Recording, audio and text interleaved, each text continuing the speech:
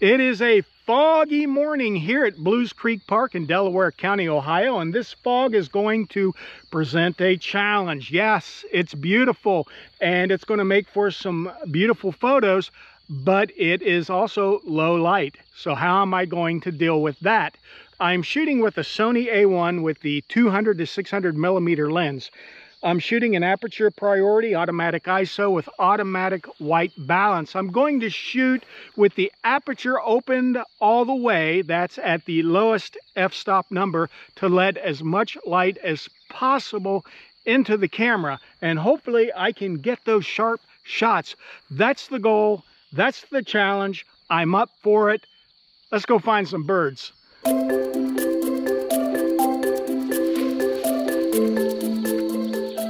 And the first bird I photographed was a song sparrow in that early morning fog.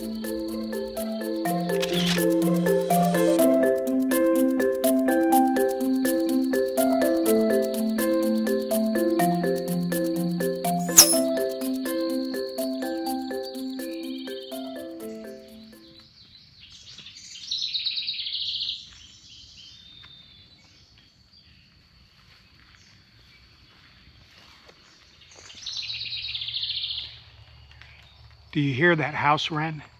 I'm in a small stand of woods and I've been hearing it all around me.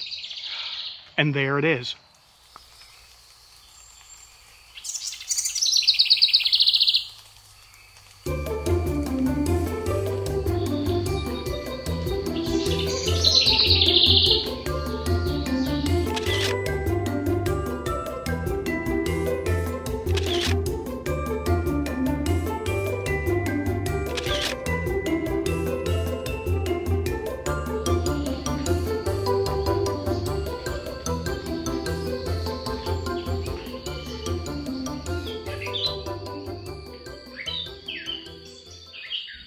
As I walked out of those woods, I could still hear the little house wren calling out behind me.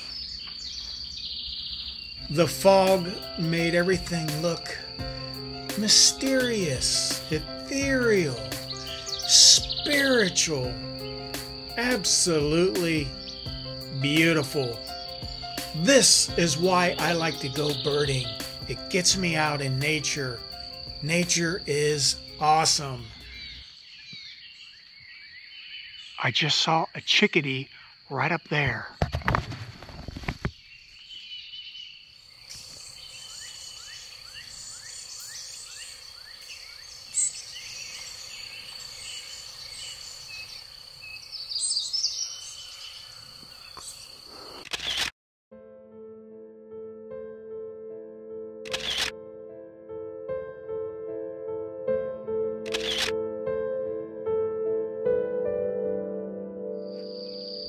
I'm getting some shots of tree swallows in this field.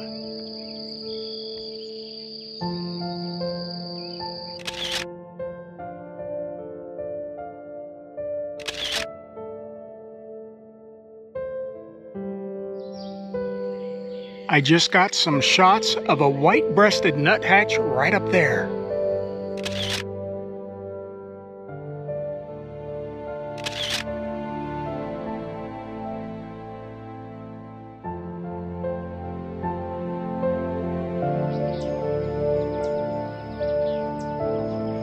There are some yellow warblers right over there.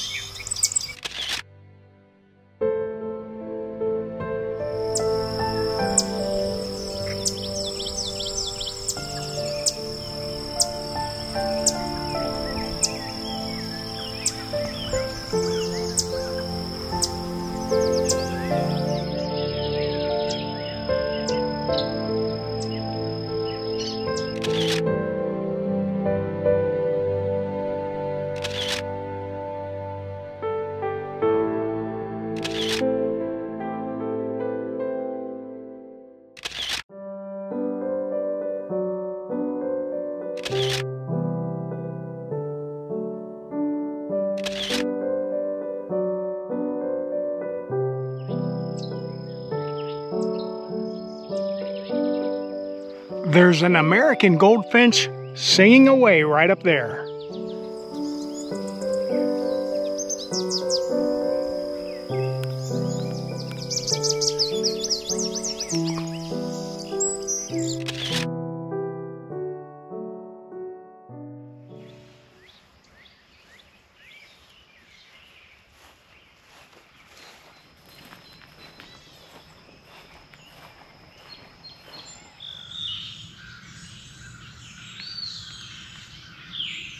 As you can hear, there is a lot of bird activity.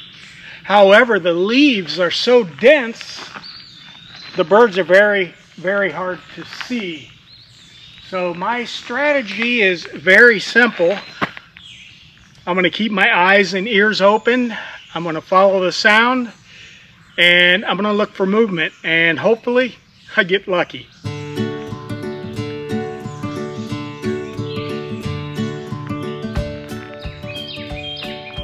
That's a Carolina wren. I can't see it, but it's over there somewhere in that dense, dense, deciduous forest.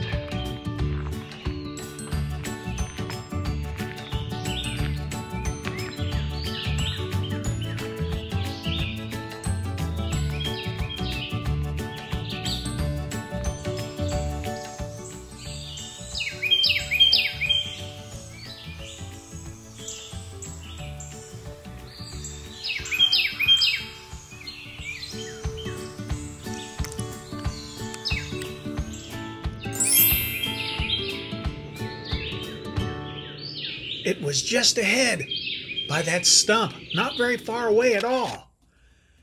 I was so happy to find this little creature and get these shots. Looking for movement, listening, and slowing down allowed me to hone in on the location of this little creature.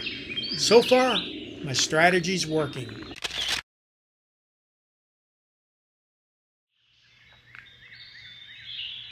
There's an eastern wood pewee right over there somewhere. In that general location.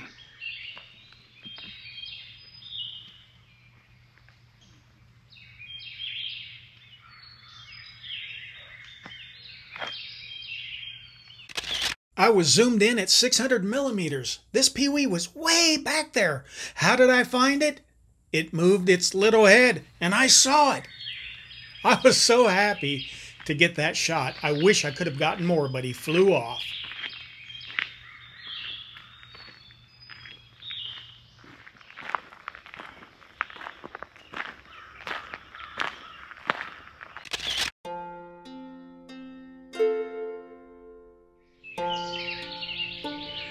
I just saw a rose-breasted grosbeak right up there.